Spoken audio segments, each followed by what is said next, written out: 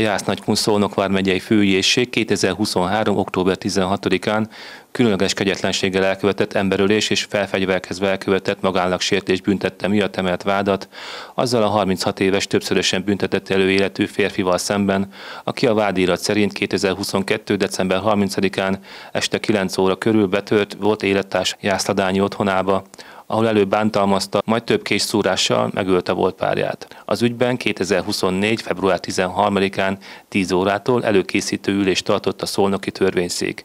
Ezen a vádott másik védő kirendelését kérte, mely indítványának a bíróság helyt adott, és védőjét felmentette a kirendelés alól, ezért az előkészítő ülést el kellett halasztani.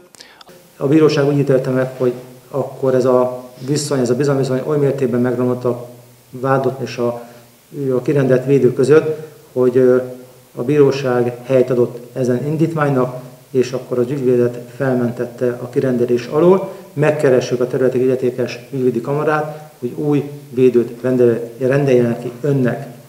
És ha lesz, akkor nyilván erről fogjuk önt tájékoztatni.